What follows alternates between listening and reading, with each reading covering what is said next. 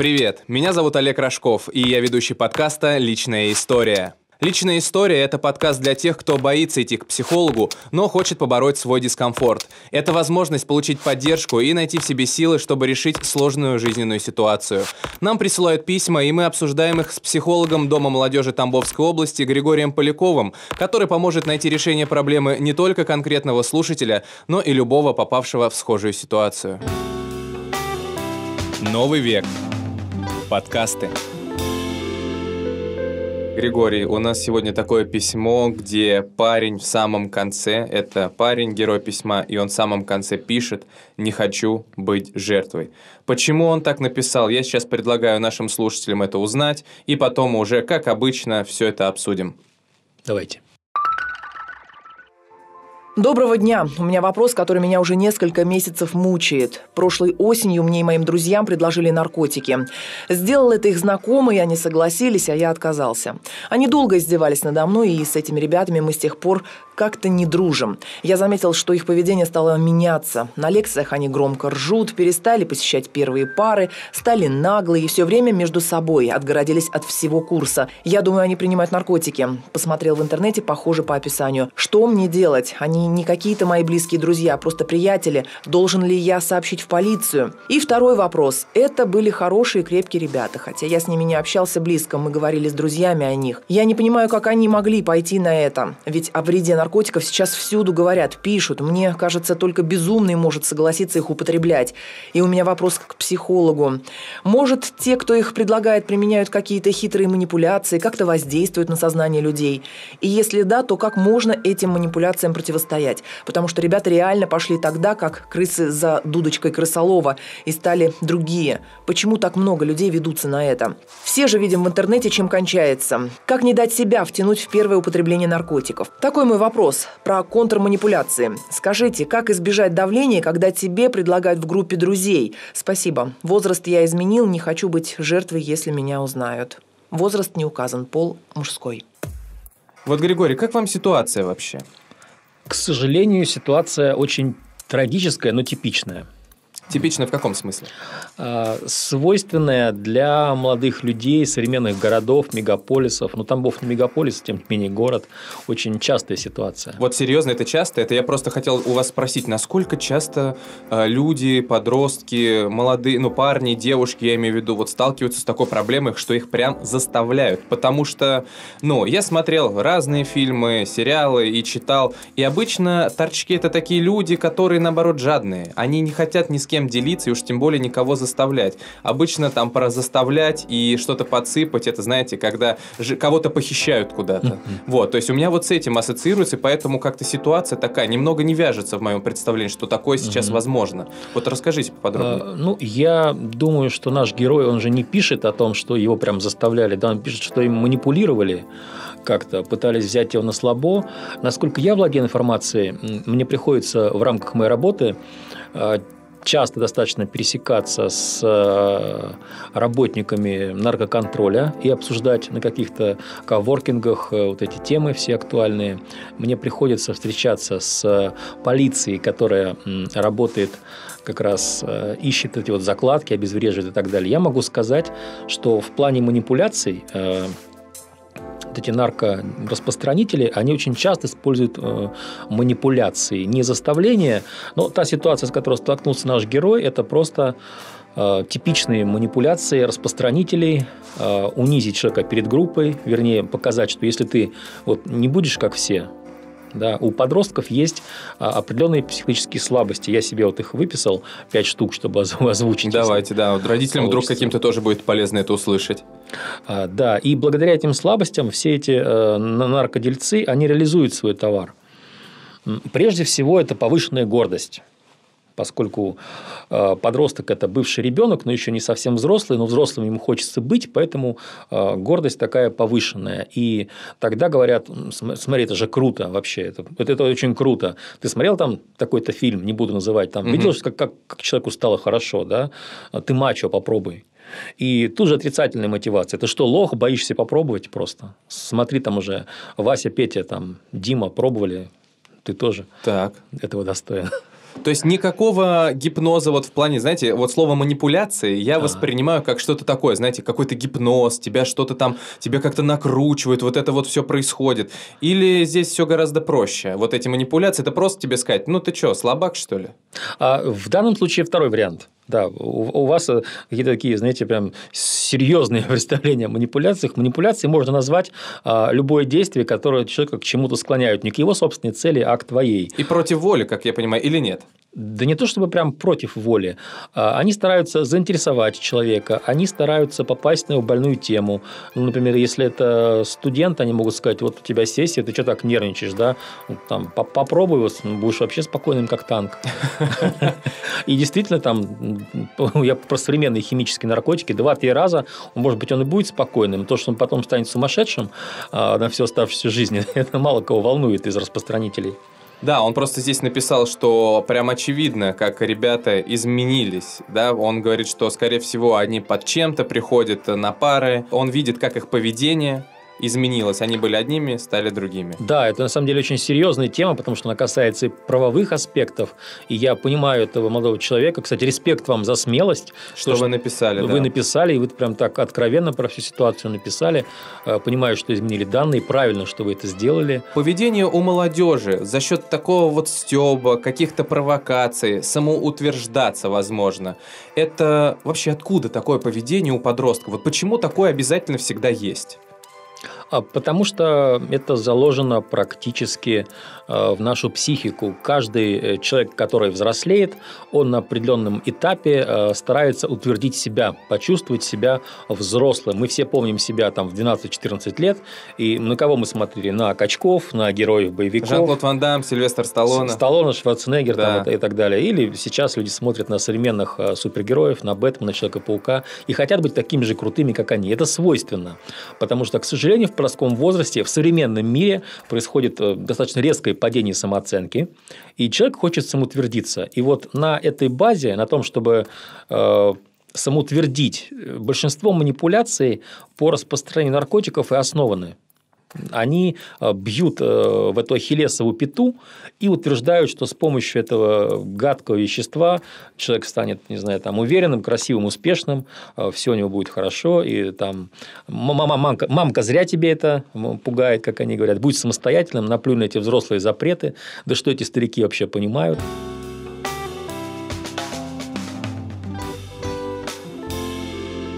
Можно увидеть же в интернете, как эти наркотики влияют на человека, на его поведение, на его состояние. Это местами выглядит, конечно, смешно, когда ты смотришь, как какой-то неадекватный человек, что какие-то странные звуки издает. Но в тот же момент ты понимаешь, что это очень грустно, и что, возможно, ему очень плохо на самом деле от того, что он это все употребляет. Это давайте проведем мостик к следующей манипуляции, которая здесь возможна. Люди, которые смотрят это в интернете, они это не ассоциируют с собой, потому что они, говорят, они так наивно говорят, ну, конечно же, там в интернете совершенно другие безопасные и полезные А, со, мной наркотики. не- со мной такого не будет. Со мной такого не будет. Во-первых, там э, в интернете э, вредные и опасные наркотики, а мне, конечно же, предлагают там полезные, хорошие и безопасные. Натурпродукт. Натурпродукты, экологически чистые, э, органические наркотики мне предлагают. Это очень смешно, потому что на самом деле э, процентов э, 80, это не мои данные наркоконтроля, наркотиков в России – это химические наркотики, это самая жесть, самая огромная дрянь, это просто жидкость, которую можно опрыскать все что угодно, можно в шоколад ее добавить, можно в мармелад, можно в какую-то та- та- табачную основу, Э, и она вызывает мгновенное привыкание, если это химический наркотик, с первого-второго раза. И, знаете, я, я уже устал об этом говорить, мне кажется, об этом знает каждый, каждый первый, что привыкание возникает от э, солей и спайсов, огромное количество психозов сейчас. То есть, был момент, когда Штамбовская психиатрическая больница просто захлебнулась э, с количеством людей, которые поступают, и у которых не просто генетическое заболевание, а они попробовали спайс, соль несколько раз, и у них произошли необратимые изменения в мозгу. Органические. Органические, да. То есть это как раз те люди, которые теперь постоянно видят галлюцинации, а, прячутся в шкафах, а, там их прессуют инопланетяне. Это смешно, может быть, в подкасте слушать. Вот но, я, да, об этом и говорю, но это так грустно. э, Когда представьте себе, что это ваш брат или ваша сестра, и что это ваш друг ближайший, да, Мгм. и представьте себе, что перспектив выздороветь у него нет, потому что психиатры говорят, мы не знаем, как их лечить, они не поддаются ни терапии, ни лекарственной терапии даже. То есть, в принципе, человек по жизни будет э, по психушкам мотаться. Да? А то, что мозги съедут, это почти стопроцентная гарантия. Но опять-таки, да, а, наркодельцы, они распространители бьют на вот эту иллюзию, что э, то, что мы смотрим, это всегда про кого-то. Э, про соседа, про друга, это не про меня. Со мной такого не случится. Я, я какой-то вот особенный, у меня особ, особенная аура, там, особенная суперсила со мной. И, конечно же, мне органический натурпродукт дают там э, суперкачественный, супердорогой и так далее. А, смотрите, я вот просто сейчас так все анализирую и думаю, что вряд ли эти прям парни, да, которые предлагали а, нашему герою а, употребить, что они прям барыги такие, знаете. Скорее всего, это не так, скорее всего, у них тоже это откуда-то какими-то вот этими путями всеми непонятными все это появилось, они попробовали, решили поделиться и сказали, ну если ты не хочешь, значит ты лох, да, вот типа ну такого. Ну, да, да. Как парню сейчас понять. Вот он сам даже вроде как и пишет, что все же знают, все же видят, какой вред от этого, но как э, э сделать ему так, чтобы внутри его это не подтачивало, в плане, угу. что если отказался, значит я не такой. То есть вот как ему внутри справиться, вот душевно с этим? Есть э, такие социальные установки в современном обществе, токсичные, вредные, которые весьма способствуют, э, играют на руку распространителям. Давайте сейчас такую установку озвучу. Она звучит вроде бы привлекательно. В жизни нужно попробовать все. Но не ядерную физику почему-то но, но, но не ядерную физику, да, не защитить женщину от бандита. Или теорию струн изучить там. Да, ну или хотя бы блевотину пса, там мочу пчел, еще что-то в этом роде. А почему-то обязательно, а, знаете, почему-то очень узкий выбор. Люди, которые говорят, что нужно все в жизни попробовать, они всегда имеют в виду там и наркотики, или какой-то безудержный там опасный секс. И рок-н-ролл. И рок-н-ролл, да. Вот как-то по пальцам одной руки можно выбор пересчитать, хотя, не знаю, там... А все, в принципе, в это-то и укладывается, потому что рок-н-ролл это не только музыка, но и образ жизни, насколько мы знаем. Да, никто почему-то опять не говорит укусить за хвост бегемота в джунглях, попробовать вот это надо. Хотя бы какая-то интересная цель была, да? Ну или прыгнуть хоть с парашюта, как минимум. Накачать мышцы, да, да, да. стать умнее, изучить науку психологии. Так, ну а да, ближе давайте мы чуть-чуть давайте, от, да. отошли. Вот по поводу той самой установки. Вот как парню не чувствовать себя действительно в том, что он какой-то, возможно, не такой, если он это не попробовал. Потому что видно, что его это подтачивает и задевает, что над ним так стебались и его пытались как-то, знаете, принизить. Вот mm-hmm. что mm-hmm. ему сделать, как ему обрести вот эту вот, может быть, стержень, наверное, да, какой-то, вот как здесь ему поступить? А, нужно, э, уважаемый молодой человек, вам нужно преодолеть э, следующую ахиллесовую пяту, которая есть у подростков. Это э, стадный инстинкт и боязнь быть одному боязнь быть белой вороной и противопоставить себя обществу. Потому что, с одной стороны, конечно, подростки, они все такие яркие индивидуалисты, а с другой стороны, посмотришь, они все совершенно одинаковые. Стадные чувства, стадный инстинкт в них действует. Потому что если я иду один, то, боже мой, э, я один. А если нас много, то мы банда. Да? И вот на этом, скорее всего, и были манипуляции, которые к нему применяли построены, потому что я могу сказать, э, смело будьте белой вороной.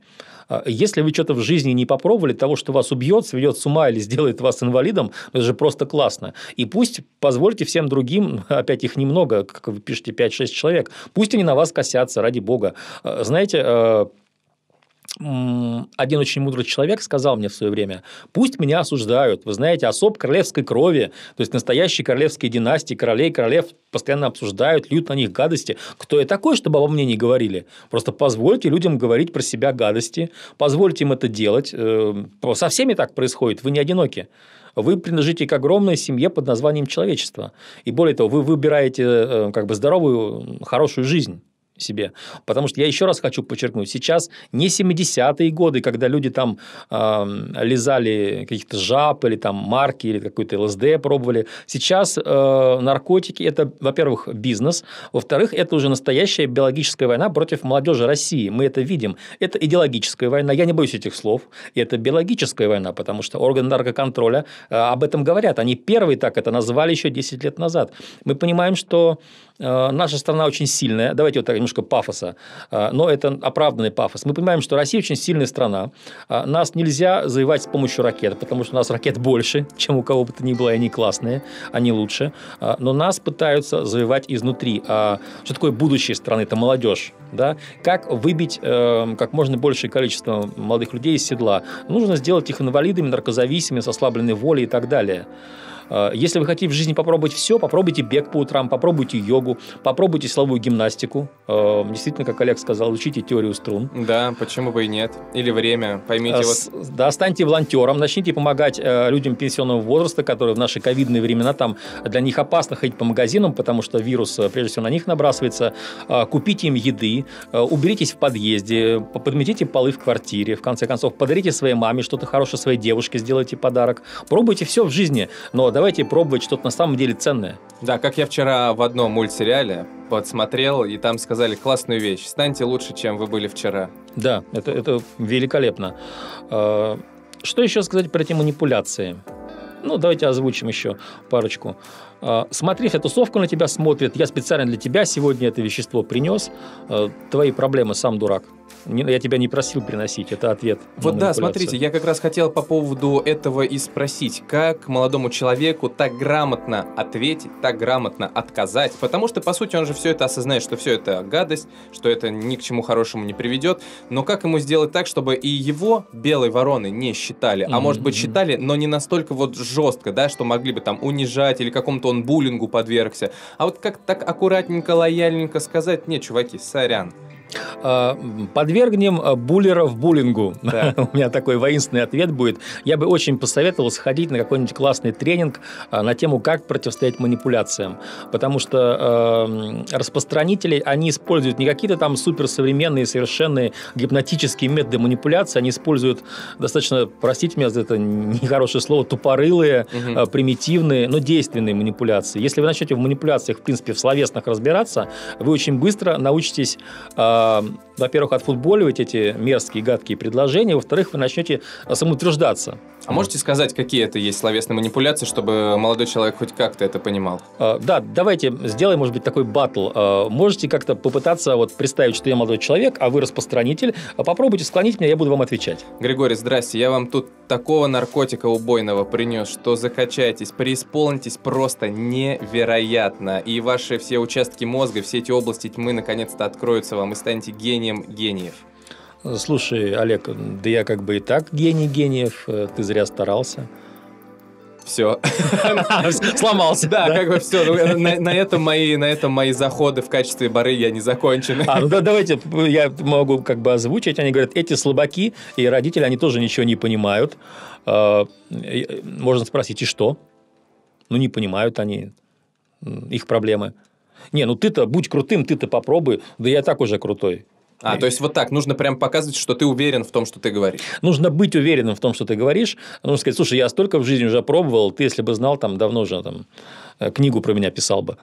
Понятно. То есть провокации, провокации, юмор, а, сарказм используйте, чтобы ответить на манипуляции. А, вот, это хороший, кстати, да, вот это хороший совет в том плане, что это действенно. Разрыв шаблона, когда вам спрашивают, тебе что слабо, я говорю, конечно, мне слабо. Вот, и, и молчу, понимаете? А люди, которые ведутся манипуляцией, они делают одну распространенную ошибку, они начинают оправдываться. Тебе слабо, да, мне слабо, и замолчи. Смотри на них, как они будут постепенно зеленеть, потому что против этого признания очень мало что можно сделать. Ну, слабо мне и что. Да, это кайф, да. Ну, полошите меня там, скажите мне, какой я плохой. Я скажу, да, я плохой вообще.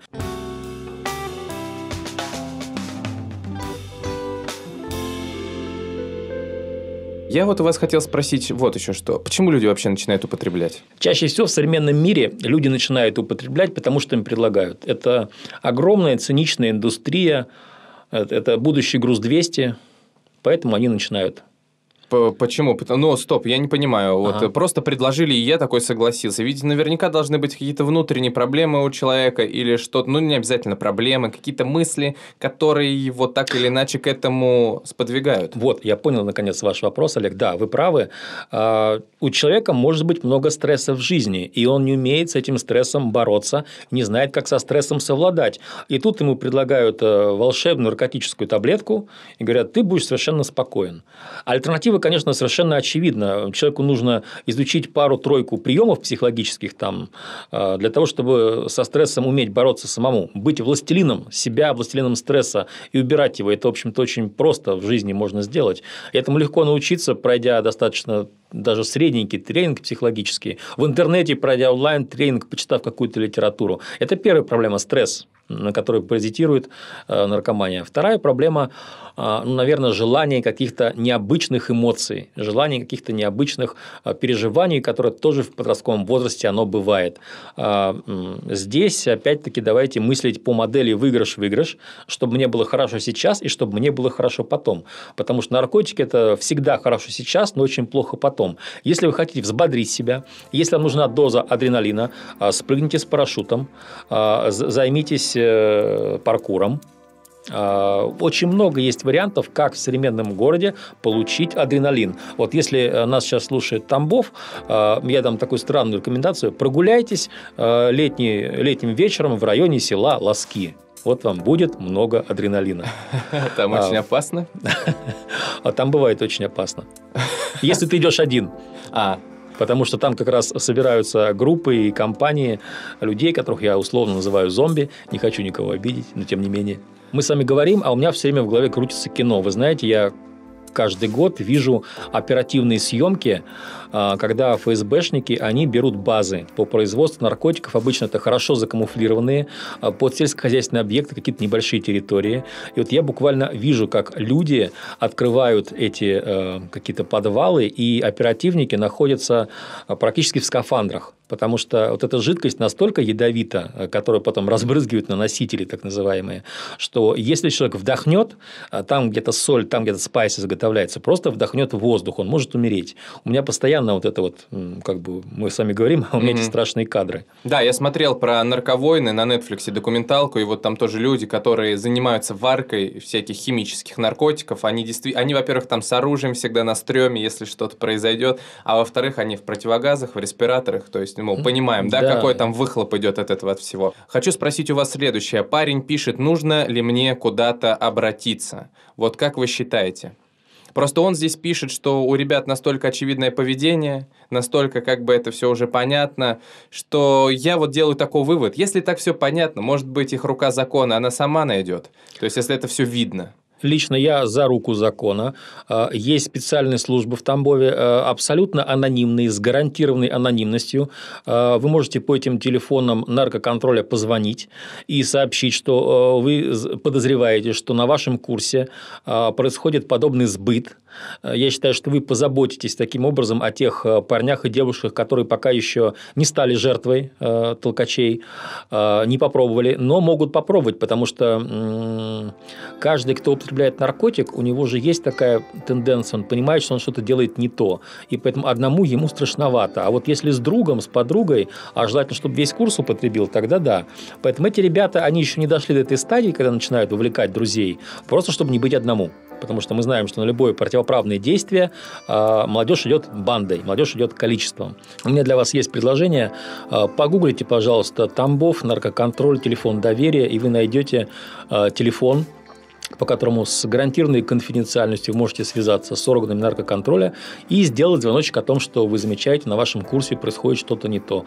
Оперативники у нас э, это, это потрясающие люди, они очень умелые, они возьмут э, в разработку этот источник, который, э, значит, звонит, как это называется у вас на курсе, и они его перекроют. И вы таким образом, я искренне считаю, что вы спасете этих парней и многих других, которые пока еще на эту гадость не подсели. Надеюсь, все те рекомендации, которые сегодня Григорий озвучил, и по тому, как отражать эти манипуляции, и по тому, как в целом себя вести с такими людьми, вам, молодой человек, пригодятся. Потому что мне действительно вас жаль, если вы оказались в таком капкане, когда вам что-то предлагают, вас пытаются за счет этого как-то унизить, вам что-то сказать, что вы какой-то не такой. А вот послушайте, что Григорий вам сказал. Я думаю, эти советы вам как минимум на первых порах точно помогут, а потом, может быть, все у вас и на автомате начнет это происходить. То есть вы уже начнете так на это реагировать сквозь пальцы, что даже внимания обращать не будете.